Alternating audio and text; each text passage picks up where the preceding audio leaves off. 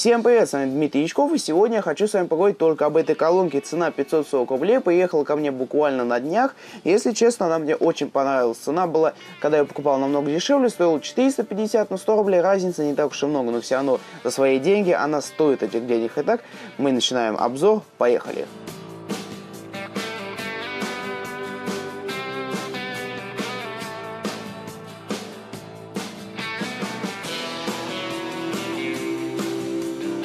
Ну что же, давайте посмотрим, что идет в комплекте. Цена, я уже сказал, 540 рублей за свои деньги, это очень хорошо.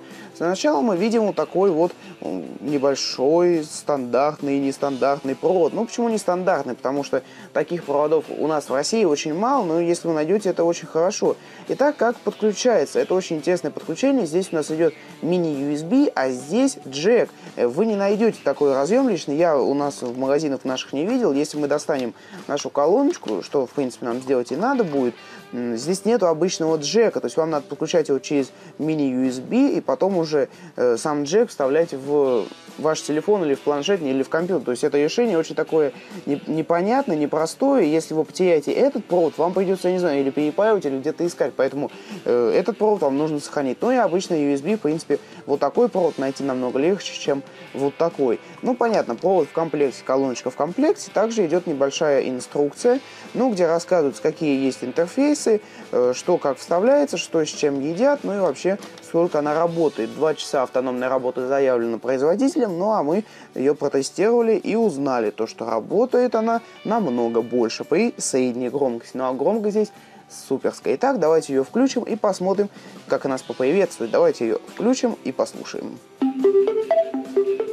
The device already ready to connect. Он нам хочет сказать, то, что надо подключить. Сразу пишет запрос на сопряжение. Он меня как-то нашел. Ну, давайте подключимся. Хотя вам, наверное, придется зайти в телефон и вбить подключиться, и тогда вы найдете эту колонку. Называется она вот лично... Ну, он меня опередил. У меня она называется вот именно так, верхняя строчка вот эта. Вот, значит, мы подключились и, в принципе, теперь можем, э, наверное, уже коннектиться и можем воспроизводить любую музыку. Но давайте все-таки пробежимся по разъемам. Здесь у нас разъем для SD-карточки. Здесь у нас горит только синий огонек. Вот это я не знаю, вообще горит или нет. Ну, хотя там написано, что это индикатор зарядки. Но на самом деле, если вы вставите на зарядку, то у вас будет мигать только синий. И при, э, уже когда зарядка закончится, он просто мигать перестанет. У нас мини-USB и, в принципе, все. Э, насчет управления, да, здесь есть, но оно не очень хорошее. Мне не очень понравилось. В Выкл это понятно, Bluetooth 4.0, если у вас меньше, то работать данная колонка у вас не будет. Насчет э, многофункциональной кнопки, это кнопочка M, которая дает возможность вам переключаться между режимами. Насчет э, вот это плюсик и минус, я сначала подумал, что это громкость. В принципе, так оно и есть, но это работает, если вы удерживаете эту кнопку в течение двух секунд и потом отпускаете. Если нет, то эта кнопка, э, то эти кнопки дают возможность вам просто переключаться между треками. Это не очень удобно, могли бы сделать, ну, мы сэкономили на кнопках, понятно, это китайцы. Ну и кнопка, которая позволяет остановить или продолжить воспроизведение данного трека. Ну и также есть такое колесико, я сначала долго не знал, к чему это вообще относится, но потом понял, что это громкость, очень удобно удобно, чтобы долго не ждать и не нажимать на эту кнопку, покрутил и все, и громкость. Итак, давайте попробуем воспроизвести какой-либо трек. Ну, у меня есть, ну, давайте, допустим, вот этот. Это минимум.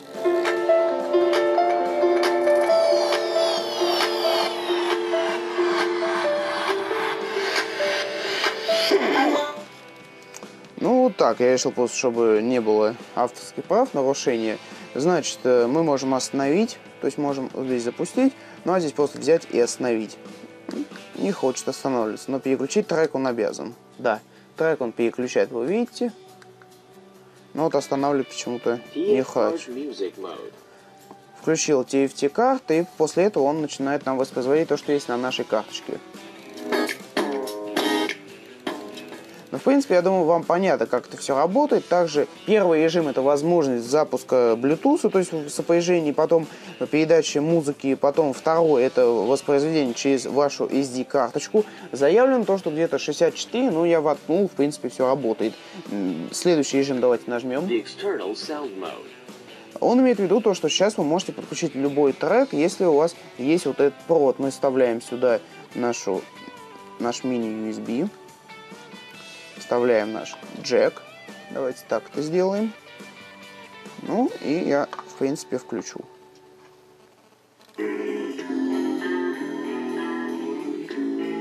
Громкости хватает, я не могу сказать, что она слишком громкая, не могу сказать, что она слишком тихая, это что-то золотая середина, я не знаю, но на максимальной громкости ничего не хрипит и все очень хорошо работает. Ну и последний режим это радио. FM Voice Mode. Как я не пытался настроить радио, оно у меня, к сожалению, не работало. Может быть, у вас будет, но у меня не нашлась ни одна радиостанция, одни лишь шумы. Куда я не выходил, где я только не тыкал, все равно получалось одно и то же. Ready to connect. Он имеет в виду то, что сейчас э, наша колоночка подключилась к нашему телефону, и мы можем запустить. Вот, иногда колонка не слушается, такое бывает, но это легко поправить, взять ее и выключить. Принципе, вот такой обзор у меня получился. Не знаю, понравился ли он вам или нет, но такой, наверное, кратенький и простейший. Цена 540 рублей, покупал за 450. В принципе, цена хорошая и не покупайте всякую фигню. Покупайте только проверенные и хорошие гаджеты. На этом у меня все. Всем пока.